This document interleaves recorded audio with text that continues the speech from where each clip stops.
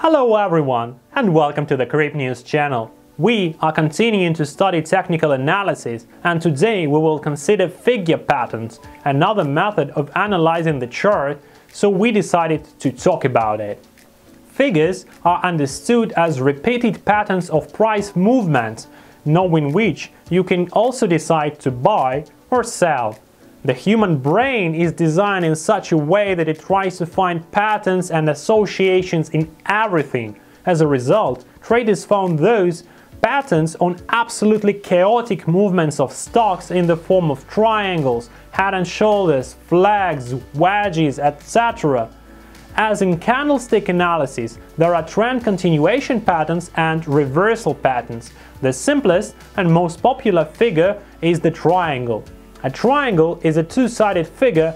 Finding it on the graph is easy, just remember your geometry classes at school. The simplest and the most popular figure is the triangle.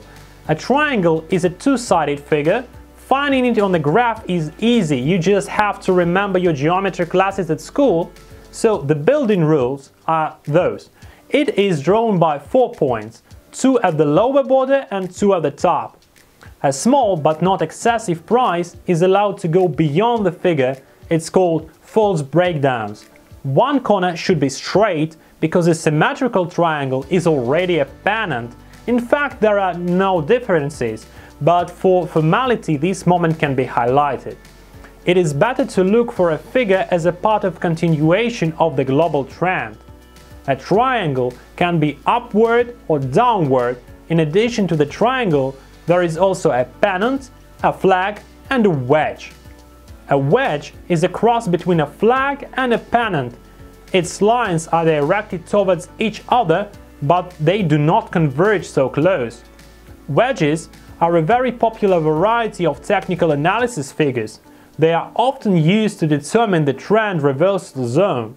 On the graph, you can see the falling wedge and its completion a double or triple top or bottom is the easiest to find reversal pattern.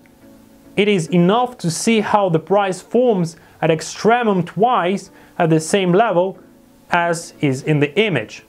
During the construction, minor false breakdowns or jumps or the resistance lines are allowed. It is better to open a deal only after confirmation, securing support and now, the true classic of the reversals, which is Head and Shoulders. And this is probably the most famous figure in technical analysis in the world. It consists of three peaks, where the average is above all, accordingly two shoulders and one head. The neckline at the same time connects the two minimum values of the extreme vertices. As a rule, the neckline should be tilted towards the upcoming trend reversal, so the figure is considered better working. Entrance is done on the third peak or on the breakdown of the neckline.